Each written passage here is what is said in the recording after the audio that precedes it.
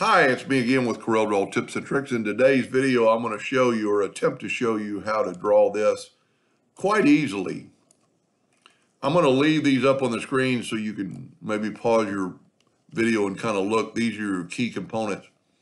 But I'm going to start off drawing one. This is your basically your key component. We need a, doesn't matter what size you start off with, but I'm going to use a four inch circle. Control D and make a duplicate and hit a two inch circle. Then I'm going to take them both and I'm going to hit L, put it on the left side. Now we need a rectangle that is one inch wide. I'm going to go ahead and round it off and I can put in any number because anything bigger won't do any uh, harm to go bigger. Now this is the distance, whoop, this is the distance between here and here is one inch.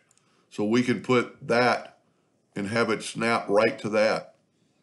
I'm going to go ahead and move it over a little bit and snap it again so my tail a little bit longer.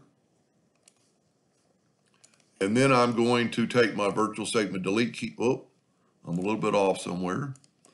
I'm going to snap to that again.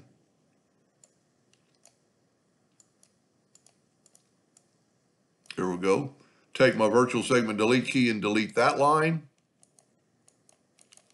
and this line. And we get this shape. Now I'm going to rotate this a negative 45 degrees because I want it in that aspect. I'm going to left click, right click. I'm going to make a duplicate. And there are several ways you could do it, but we just need this end up here. I'm going to uh, mirror it a couple, well, I'm having trouble. Um, forgot how to do it. Tell you what we could do. I want that on the other side so I can hold down the control button and then I get a perfect. And now I can mirror it the other way. And we're gonna, cause we're gonna cut off that top anyway. I could have just used a rectangle, but I'm gonna have it snap to that corner right there. Now you can see we can take a virtual segment delete key and delete that. But I need to cut this in half. So I'm going to go about right here and start moving and hold down the control button. Now I've got my nudge factor set on six inches. Let me move this out of the way. And we're going to fill that in and make new items. So I'm going to hit that and then hit that. Now I'm going to take both these and I'm going to left click, right click and get an outline. I'm going to control D and make a duplicate and hand, taking this handle with the two-sided arrow, I'm going to flip it.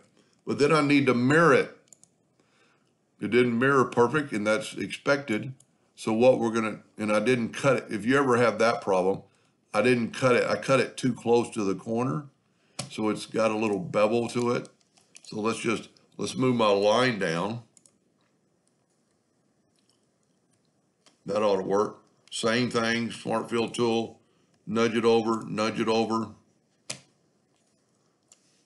I'm gonna left click, no fill, right click outline, control D and make a duplicate, and then move it up. You need to select it all, and then move it up. I didn't make a duplicate.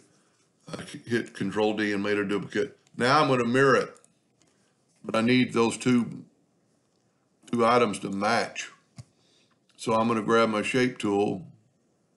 Well, and see, I didn't, well, I need to really group these together, Control G, so they don't move on me. I'm going to zoom in. And I'm going to grab that and have it snap right to that line and then take my virtual segment delete key and, and delete that line. So now you can see our wave. So I'm going to go ahead and seal this up. I'm going to smart fill, nudge it over, smart fill, nudge it over, smart fill, nudge it over. And then you know, just let your imagination uh, go with you and what color you wanted. Uh, I did a light blue and a black. And, and from the start, I could have started with any dimension and just cut it in half. So we're going to grab that one right there. I'm going to get the interactive fill tool. And I'm going to go from here to here, but I'm going to replace that with a blue, a lighter. Sometimes Corel does that, irritates me. It hides the block. Now you can't use, you have to do it twice because you, it would be upside down if you tried to use the attribute eyedropper or the copy tube. So then we got, now we got the middle one and you could leave that, but it kind of shows you how to do a double-sided. So I'm gonna bring in a blue and put it in the middle. And then I'm gonna put blacks on both ends. And that's kind of giving it the appearance that it's got some shadow to it. And if you, if you can't get enough, if you can't get enough blue in the center, you can always add another blue. You can add many blues. You know, you just want a little faint aspect. There you go, a pretty good way to make a twisted ribbon type deal. And there's a, I might make another video on how you could actually make this go further.